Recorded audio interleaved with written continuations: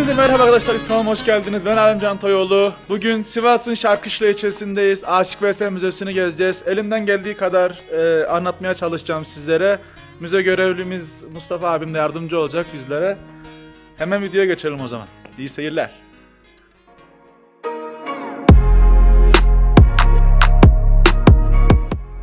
Aşık hayatını kısaca özetler misin? Özetleyeyim efendim.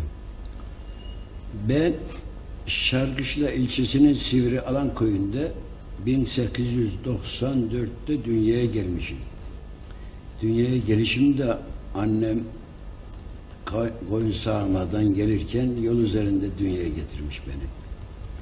7 yaşıma kadar ben de herkes gibi koştum, serttim, güldüm, oynadım. 7 yaşımda çiçek hastalığından iki gözlerimi kaybettim. Babam rahmetli bir saz bulmuş getirdi. İşte evvel malum köylerde radyo yok, gramofon yok. Ee, bu düğünlere götürürler, eğlenti yerlerine götürürler, ihtibar ederler diye bunu düşünerek bir saz getirmiş, verdi. Ama işte o andan bu ana kadar çalıp söylüyorum.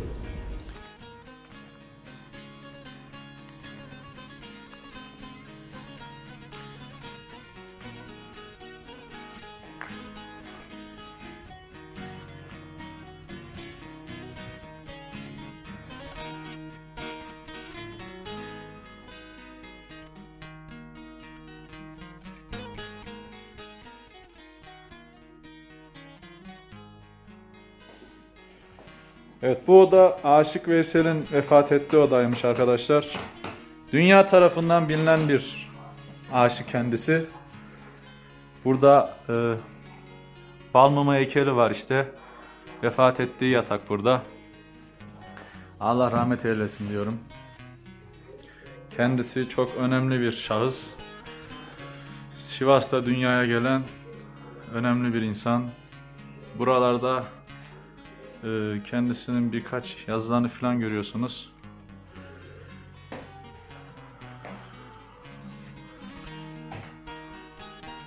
Bu kısımda kullandığı malzemeler var. Kullandığı tesbih, piposu ve ağızlığı var.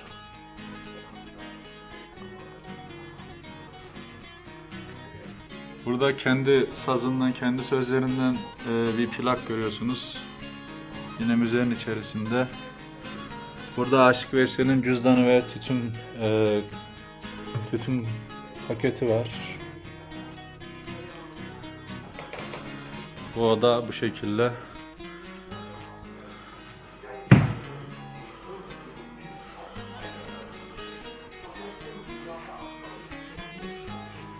Harlandı sıla hasreti, yaylanın türlü kokan çiçekleri,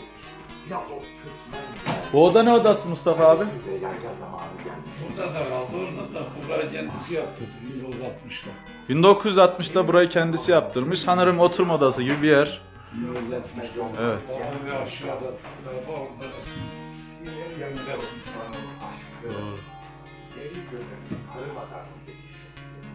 Bu arkada görmüş olduğunuz yer Sivrialan Köyü. Arkadaşlar Şarkışlamızda. Burada da Aşık Veysel'in kıyafetleri var. Sazı var. Şemsiyesi var.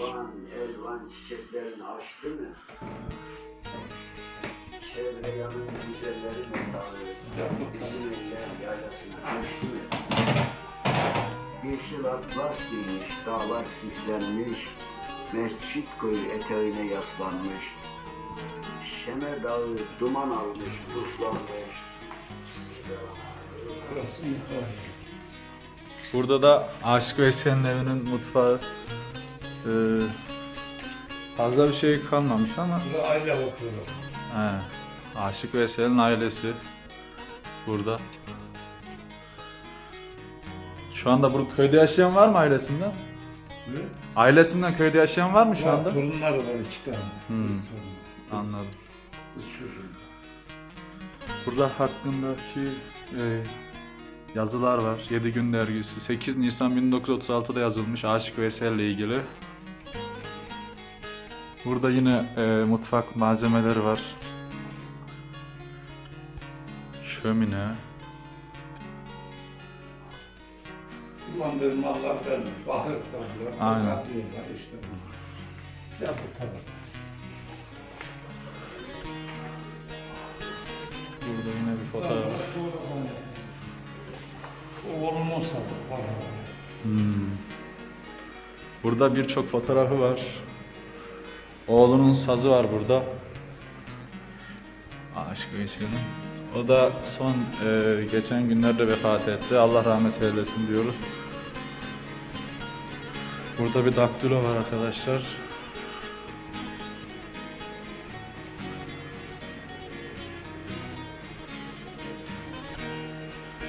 Burada ziyaretçi defteri var. Gelip burada ziyaret defterine yazı yazabilirsiniz. Efendim abi?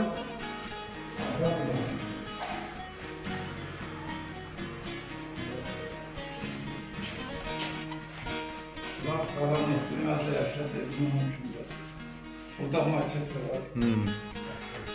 Aşık Veysel e, görme engelli olduğu için arkadaşlar Burada burada.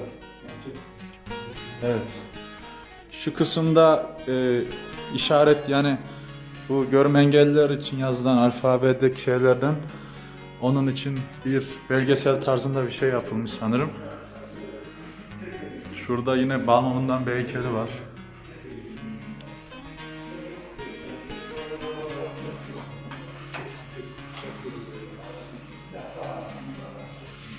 Ne böyle bir kısım var. Burası sonradan yapılmış. Evi değil burası. Emin evinin yan tarafında bulunuyor hemen.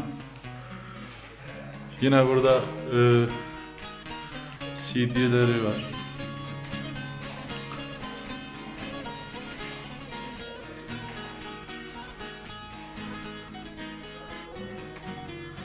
Hakkında yazılmış haberler.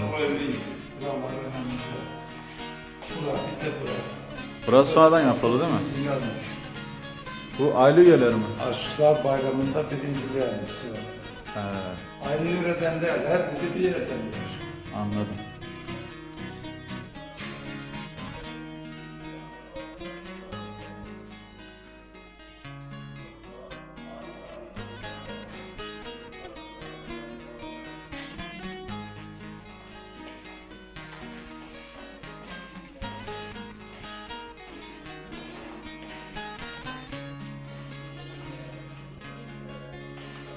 Bunlar ne Mustafa abi?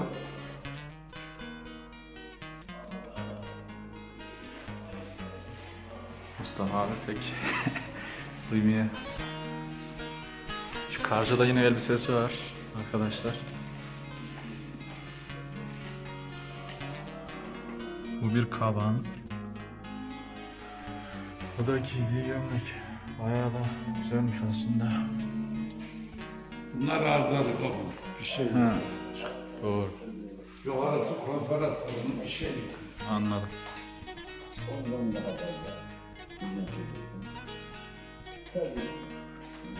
Daha önce yapılmış bir röportaj videosunu izletiyorlar burada da.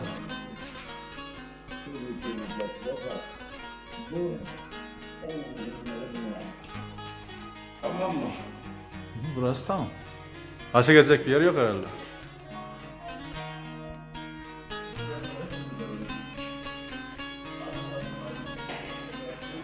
Evet. Bu kısım bu kadar arkadaşlar.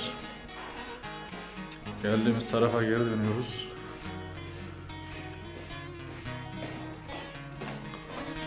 Buraya gelmek için uzun bir yol çektik. Şarkışla'dan burası e, yaklaşık bir 40 dakika falan sürüyor. E, toplu taşımayla gelinmiyor fakat özel araçlarınıza gelebilirsiniz buraya. Şimdi tekrar ev kısmına geldik. Burası bu kadar sanırım.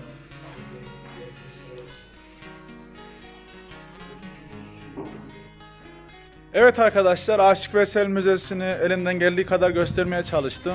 Ee, Şarkışa'dan burası içeride de söylediğim gibi 30 kilometre.